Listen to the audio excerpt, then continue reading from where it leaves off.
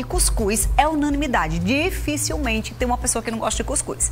O sabor, gente, agrada até os paladares mais chiques, mais apurados. E em tempos dos itens básicos da cesta básica inflacionados, como arroz, como feijão, aí foi que o cuscuz, o amarelinho, ganhou ainda mais protagonismo, né? Vamos lembrar a história do cuscuz? Foi trazido pelos escravos, se espalhou aí pelo mundo, só que mesmo tão popular, tem gente que não acerta o ponto do cuscuz. Aí a gente convidou a Micaela Barreto.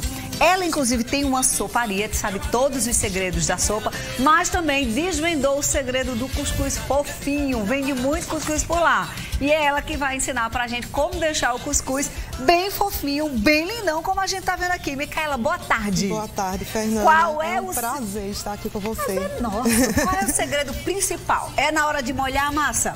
Com certeza. A hidratação da massa, o ponto certo de molhar hum. e o tempo de descanso. Né, para ela poder é, cozinhar direitinho, ficar fofinho tem que estar tá associado ao descanso da massa. Tem gente que diz o seguinte, ó, quando você molhar, molha bastante. Aí tem gente que diz, não, se molhar muito vai ficar parecendo pirão. E aí, molha não, muito, molha pouco? Não, tem que equilibrar, ah. né? Ela tem que ficar úmida a massa, certo. mas ela não pode ficar grudenta, né? Sim. É como essa daqui, ó, você toca, a massa ela tá úmida. Certo. Mas ela não está grudenta. Entendi. Ah, essa daqui Quanto é uma massa tempo de descanso, descanso, mais ou menos? Em média, 10 minutos, 15 minutos. Bota pano em cima, não bota pano em cima... Eu prefiro colocar papel filme. Entendi. Porque conserva mais a, a qualidade do produto. Entendi. Outra dúvida, tem assim, olha, a água da cuscuzeira é bom que já esteja fervendo, é verdade? Seria bom. Seria bom porque o tipo do cozimento é menor, né? Entendi. Se ele cozinhar muito, ele fica muito solado, duro. Olha isso, se cozinhar demais fica duro, se cozinhar de menos fica cru. Exatamente. Então você coloca logo a, cuscuzeira com água pra ir fervendo. Exatamente, como essa daqui. O ponto de retirar é no cheiro mesmo, é enfia da faca? No cheiro, no cheiro sim. Mas dependendo da, do, do, do, recheio, uhum. talvez precise enfiar a faca, ela sair limpinha, feito ponto de bolo. O que é que você vai fazer pra gente? Vai ser o tradicional? Não, esse aqui eu vou botar, eu tô, eu tô colocando uma opção, Sim. né, de um curso prático na correria do cotidiano, certo. de todo mundo, de mãe de casa, né, de trabalhadora, de, de, de que precisa Mil organizar, exatamente, precisa organizar a parte das refeições da família. Então, essa é uma opção que eu faço até da minha casa. Certo. Tá? Aqui eu, a massa ela já está úmida, já está com sal a gosto. Eu vou e misturo com queijo de coalho pré-cozido. Raladinho. Raladinho. Nunca fiz pode assim, ser em cubo, já na massa. Nunca fiz. Pode ser em cubo, pode ser ralado. Eu geralmente coloco um pouquinho de cuscuz, aí coloco o quê? Sabe? Nunca fiz assim misturado. Essa daqui é uma opção. Você pode colocar também coentro, para quem gosta de coentro. Adoro coentro. Salsa, um presuntinho, uma calabresa Aí já vai virando um cuscuz paulista, né? Exatamente. né? é o quê, diretora? Deixa eu tirar o copo d'água aqui para os meninos pegarem aí você mexendo.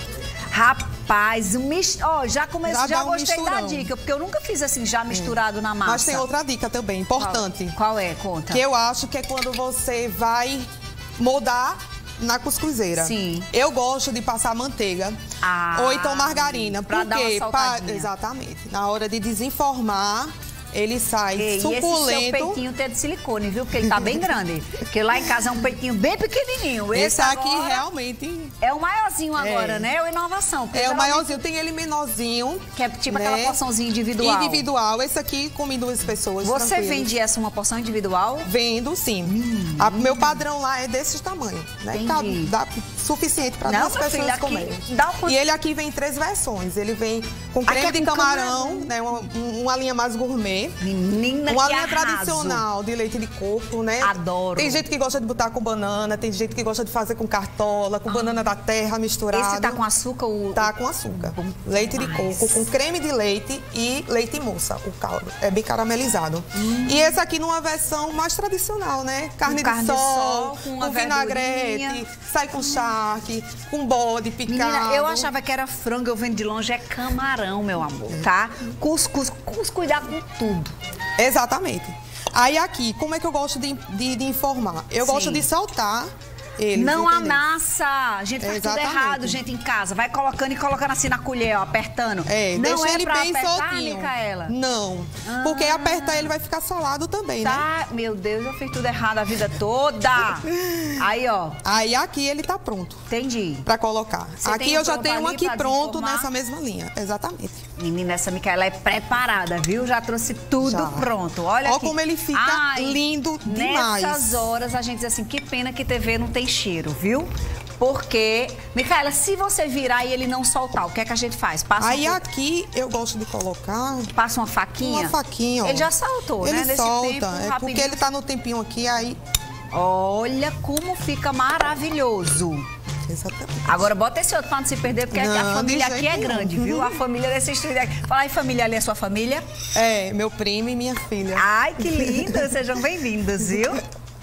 Aí aqui, ó, Rapaz. pra deixar mais Uma suculento. manteiguinha da terra, né? Pra- uma manteiguinha pra- da né? terra, porque a tradição pede, né? Ah, Eu não sou besta nem nada. Ô, ô, Elaine, Por favor. por favor, Elaine, dá licença. Minha diretora tá dizendo, vamos encerrar sem eu provar jamais.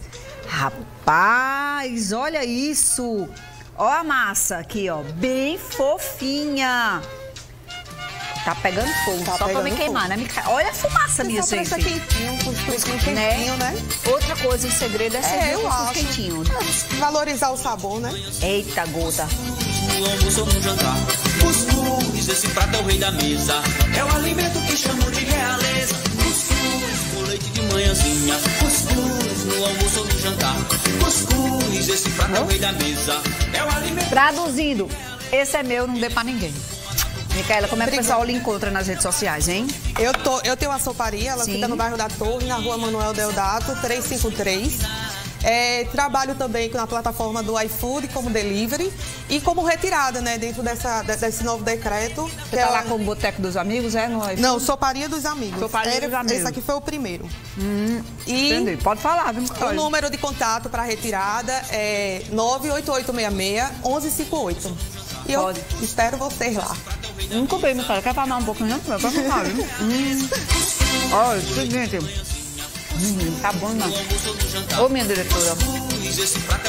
Bota aí aquele VTzinho maravilhoso com as dicas do fim de semana pro pessoal ficar em casa assistindo o filminho, pra eu ficar comendo meu cuscuzinho aqui. Vá, meu amor, vá.